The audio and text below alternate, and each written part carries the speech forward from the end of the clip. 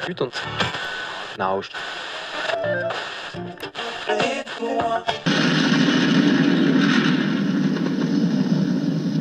AVAGuide.ch präsentiert Ihnen drei interessante Produkte aus der Welt der Audiovision. Der Soundlink Mini von Bose ist ein Lautsprecher im Taschenformat. Er wiegt etwa 600 Gramm, ist 5 cm hoch, 18 cm breit und etwa 6 cm tief. Mit dem Smartphone oder dem Tablet wird er via Bluetooth verbunden. Auf der Oberseite des Lautsprechers braucht es eine einzige Taste, um Verbindung herzustellen. Das Gerät speichert die letzten sechs Geräte, mit denen es Verbindung aufgenommen hat. Zum Lautsprecher gehört eine Ladestation für den Lithium-Ionen-Akku. Das soll eine Betriebszeit von etwa 7 Stunden haben. Das Gerät gibt es in Orange, Grün und Blau. Einen ausführlichen Test vom Bose Soundlink Mini finden Sie auf avaguide.ch. Panasonic präsentiert mit der Lumix FT72 eine Super Zoom Kamera. Brennweite Länge von 20 mm, wie hier auf dem Bild bis zu 1200 mm entsprechend im Kleinbildformat. Das ist ein 60-facher optischer Zoom. Mit einem zusätzlichen 1,7-fach Telekonverter soll man sogar Krater auf dem Mond aufnehmen können.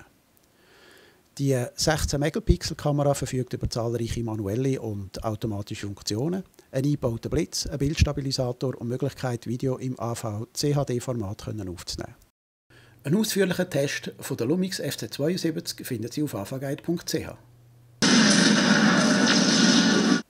Lautsprecher, die den Ton von Flachbildfernsehen verbessern, sind im Trend. Onkyo präsentiert mit dem LST10 einen Lautsprecher, den man als Sockel unter der Flach-TV stellen kann.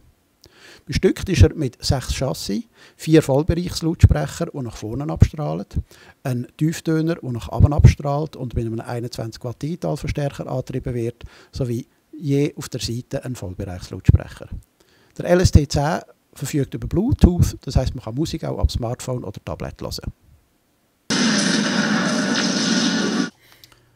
Die Röhrenfernseher sind out. Angesagt ist 4K-TV. UHD steht für Ultra High Definition, ein Bildformat, das Full HD soll ablösen soll. In der Version 4K hat ein UHD-Fernseher die vierfache Auflösung von einem Full HD TV. Das Bild ist überwältigend. Nicht zuletzt aber auch, weil die Bilddiagonale der präsentierten Fernsehgeräte sehr groß ist. Anbieter sind alle namhaften TV-Hersteller. Es wird allerdings noch eine Weile gehen, bis sich Fernsehsendungen oder auch Filme auf UHD werden durchgesetzt haben. In diesem Format kann man bereits einige Games geniessen und die Fotos ab dem eigenen Fotoapparat. Zudem gibt es ein paar Wiedergabegeräte, die Full HD Bilder auf 4K hochrechnen.